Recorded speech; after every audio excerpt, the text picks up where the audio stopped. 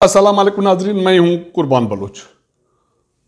वजी अजम इमरान खान का जाना तो ठहर गया है, लेकिन उसके जाने की टाइमिंग अहम है। जो सवालात जेर गर्दिश हैं, वो ये हैं कि क्या उसके खिलाफ बैरूनी साजिश हुई है, या उसके खिलाफ जो कुछ हो रहा है, वो उसकी नाकामियों का शाखसाना है। वो एक मरतबा फिर इस्लामाबाद में लोगों को क्यों बुलाने जा रहा है? शहबाज शरीफ ने सेक्रेटरी दाखिला को क्यों खत लिखा इतवार के रोज़ कौमी असम्बली के ऐवान में? क्या खदशात हैं? क्या वजुरा को अब पता चला है कि वजी इमरान खान की ज़िंदगी ख़तरे में है? ये सारी चीज़ें इतनी उलझी हुई हैं कि कौम परेशान है कि क्या होने जा रहा है? ख़तरात की सूरत हाल शदीद है। कहा यह जा रहा है कि एक मरतबा फिर आइन के आर्टिकल छः पे गौर हो रहा है, कोई एमरजेंसी लगने जा रही है, इस्लामाबाद में दंगा फसाद होने जा रहे हैं। इतवार आने में एक दिन बाकी है। वजी इमरान खान की कल जो तकरीर थी या कौम से खिताब था, वो आपने सुना। वो कह रहे हैं कि मैं हार नहीं मानने वाला। मैं आराम से घर नहीं बैठूँगा और मैं आप लोगों को नहीं छोड़ूँगा। क्या वजी इमरान खान आने वाले दौर में मज़ीद ख़तरनाक होंगे? इस सूरत हाल का जायज़ा लेंगे। जिन दोस्तों ने मेरा चैनल सब्सक्राइब नहीं किया या नए दोस्त देख रहे हैं तो सब्सक्राइब करें, आज करें, शेयर करें। कल वजी इमरान खान ने कौम को खिताब किया।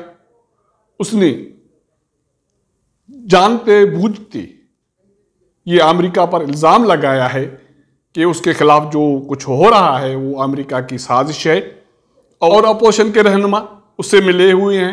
अहम किरदार मियाँ नवाज़ शरीफ का है। लेकिन जाते जाते उन्होंने ये मैसेज दिया कि मैंने कभी भी हार नहीं मानी, मैंने क्रिकेट भी आखिरी बाल तक खेली।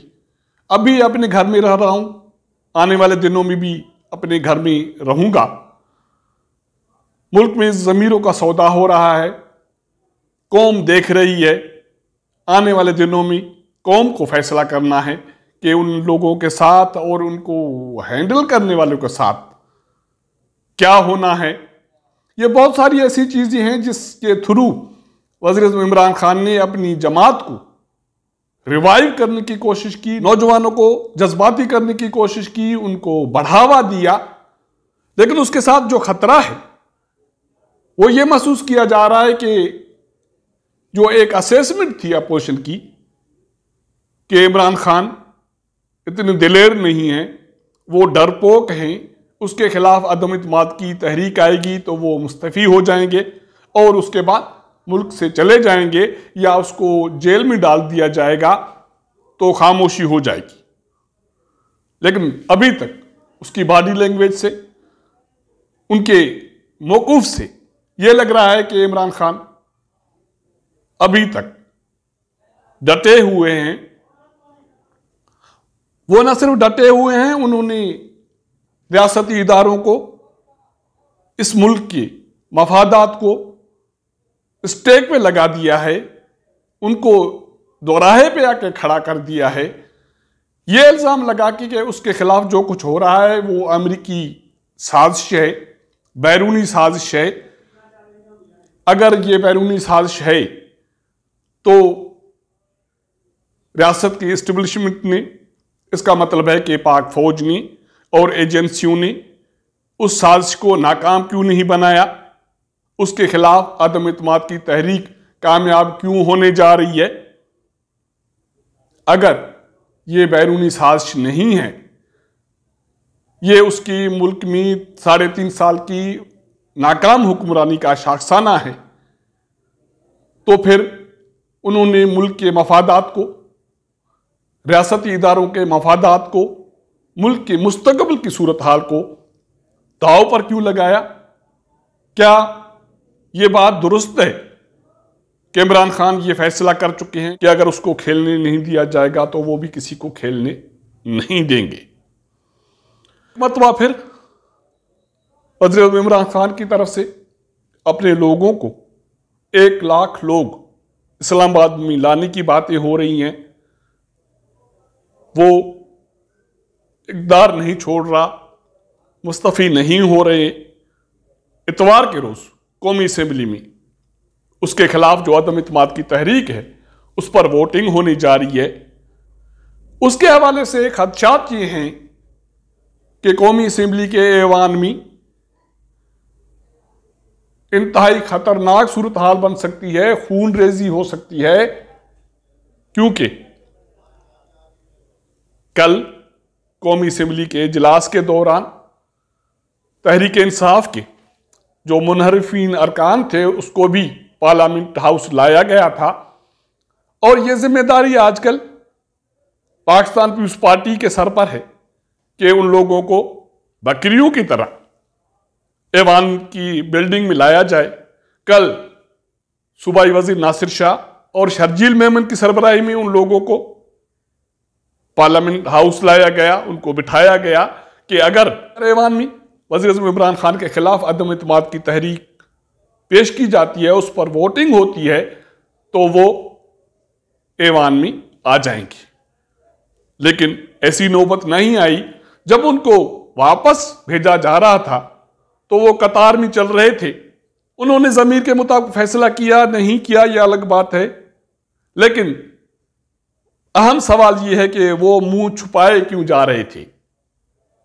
वो मुँह उठा के क्यों नहीं चल रहे थे? वो सहाफ़ियों से बात करने से क्यों कतरा रहे थे? और वो भेड़ बकरियों की तरह क्यों चल रहे थे? जब वो बाहर जा रहे थे तो तहरीक इंसाफ के कुछ कारकुनों ने वहाँ नारेबाजी की। सूरत हाल इंतहाई इश्ताल अंगेज हो गई, लेकिन इन मेम्बरान को खैर खूबी से बाहर भेज दिया गया। लीडर शाहबाज शरीफ ने सेक्रेटरी दाखिला को एक खत लिखा है और उसमें यह कहा है कि एतवार के रोज कौमी असम्बली के अजलास में वजी अजम इमरान खान के खिलाफ आदम अतमाद की तहरीक पर वोटिंग होनी है। इस दौरान अमन अमन कायम करना इस्लामाबाद इंतजामिया की ज़िम्मेदारी है। तो इसलिए इतवार की रोज असम्बली के अजलास में वोटिंग होगी। तो मेम्बरान और पार्लियामेंट आने वाले स्टाफ के लिए फुल प्रूफ सिक्योरिटी इंतज़ाम किए जाएँ। इमरान खान की हुकूमत तो जा रही है। वजारत उज़मा उसके हाथों से खिसक रहा है। इतवार के रोज जब वोटिंग होगी तो, तो वो वज़ीर अजम नहीं रहेंगे। लेकिन क्या वो इस उहदे के बाद ज़्यादा खतरनाक होंगे या अब इस वक्त खतरनाक है? उसकी बातों से लग रहा है कि अगर वो अपोजिशन लीडर बने, मुल्क से नहीं भागे, पाकिस्तान में मौजूद रहकर उनने सियासत की तो वो आने वाली हुकूमत के लिए ख़तरनाक होंगे। और जो अहम सवाल, जेर गर्दिश है, वो ये है कि वजी अजम इमरान खान को घर भेजने की जो टाइमिंग है, वो इंतहाई अहम है। उसको दो चीज़ें हाथ में दे दी गई हैं। एक मज़हब, जिसका वो जब से हुक्मरानी में आए हैं, उसका सियासत के लिए इस्तेमाल कर रहे हैं, और दूसरा जो हथियार उसको दे दिया गया है,